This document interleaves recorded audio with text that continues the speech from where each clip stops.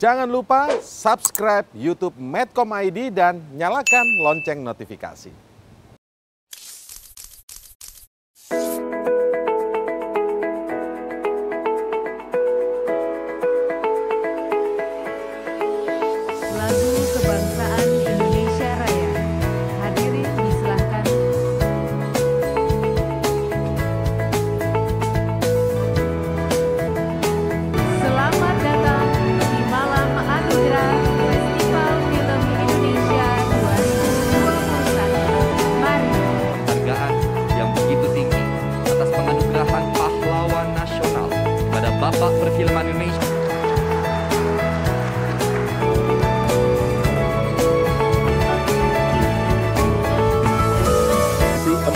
Film Indonesia berturut-turut siap.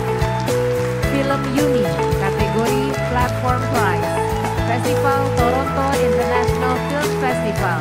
Sutradara Camila Andini. Film Laut Memanggilku kategori Sonje Awards.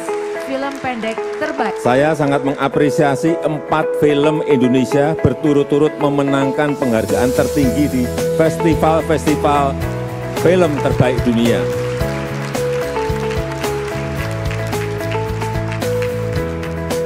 Ada Edwin dengan karya Seperti Dendam Rindu Harus Dibayar Tuntas. yang menjadi pemenang di Golden Leopard Locarno Film Festival. Kemudian Camila ini melalui karya Yuni yang memenangkan Platform Prize Toronto International Film Festival.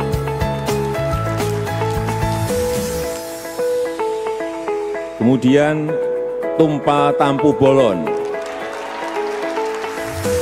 melalui karya Laut Memanggilku memenangkan Sony Award Busan International Film Festival. Kemudian Monica Teja melalui karya Dear to Me memenangkan Junior Dui Award Special Mention Open Doors Shot Locarno Festival. Ini sangat luar biasa. Sekali lagi, saya sangat mengapresiasi dan saya berharap para sineas, para aktor, para ak- aktris, dan seluruh stakeholder perfilman Indonesia terus memimpi besar menguatkan kolaborasi dengan pusat-pusat perfilman dunia menggali dan mengangkat cerita unik, tepat indah, dan juga talenta-talenta hebat kita.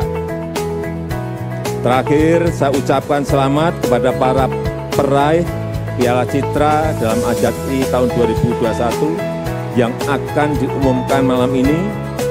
Semoga raihan prestasi ini menginspirasi karya-karya yang lebih baik saya yang akan datang. Terima kasih. Wassalamualaikum warahmatullahi wabarakatuh.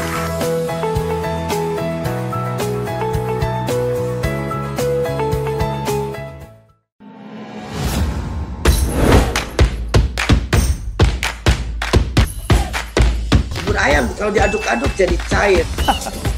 Seriously? Diaduk kayaknya ya.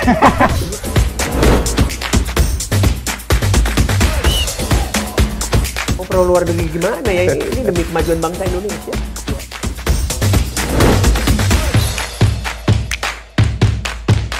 isu kebangkitan eh, PKI ini eh, dihentikan.